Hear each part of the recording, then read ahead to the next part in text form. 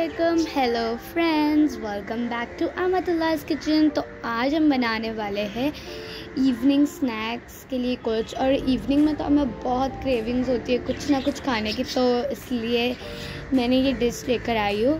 तो पहले हमने लिया था 250 ग्राम ऑफ़ चिकन जिसको हमने अच्छे से वॉश किया था। देन एक पैन में हमने उसे, उस, एक पैन में हमने ऑयल डाला था और चिकन डाला था और उसको अच्छे से मिक्स किया। फिर वन टेबल स्पून सॉल्ट डाला एंड अगेन मिक्स किया। सॉल्ट आप, आपके टेस्ट के हिसाब से डाल सकते हो।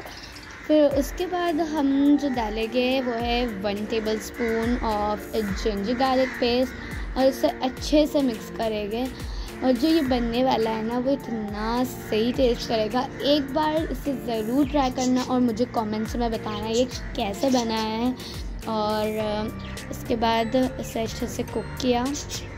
और इसमें हमने वन टेबल स्पून ऑफ़ काली मिरी का पाउडर डाला एंड अगेन मिक्स किया।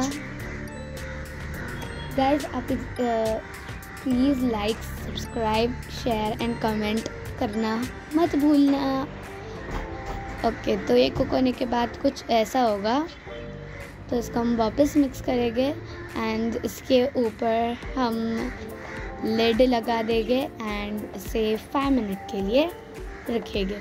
देन फाइव मिनट्स के बाद इसे निकालने के बाद कुछ इस तरीके से ये होगा। तो इसे हम अच्छे से मिक्स करेंगे। देन आपने वेजिटेबल्स चॉप करने हैं तो यहाँ लिया है मैंने कैप्सिकम अनियंस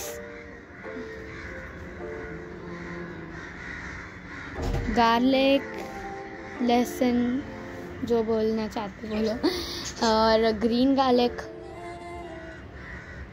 थोड़ा धनिया and again mix mix mix करेंगे।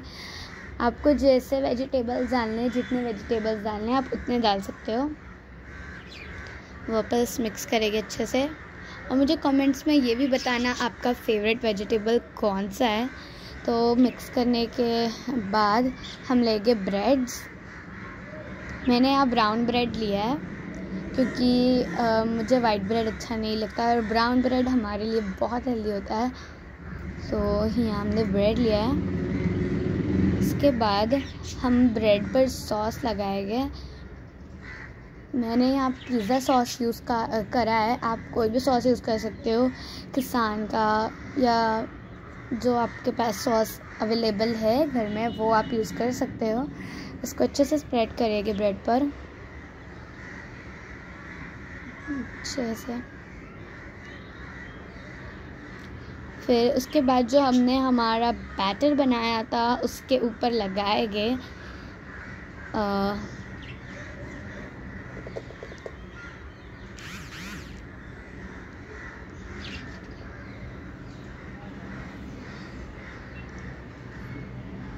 और इसके बाद हम इस पर चीज़ डालेंगे। यहाँ मैंने स्लाइस्ड चीज़ यूज़ करा है।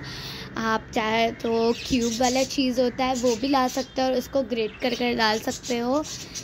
और अगर आपके पास चीज़ नहीं है तो आप स्किप भी कर सकते हो। तो यहाँ मैंने ओवन में इसे डाला है। अगर आपको ओवन में नहीं करना है तो आप इसे कोई तवे या पैन पर भी कर सकते हो। इसको हम टू मिनट्स के लिए ओवन में रखेंगे एंड देखेंगे बाद में इसका क्या होता है।